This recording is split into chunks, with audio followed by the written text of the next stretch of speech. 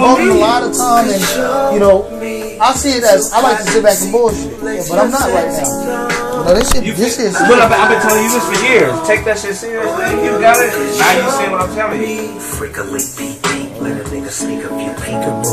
Let's see what we can do about freaking you. Let's sneak Once she get that together and quiet tell her place gonna deal so I with can that. look at it face to face. Let me guess. You prefer to wear And cotton that's been squirting on there like, because you like squat. Your last dude, you was so right. thankful for And that. now your love is too Man. Yeah, baby girl, I can reach you.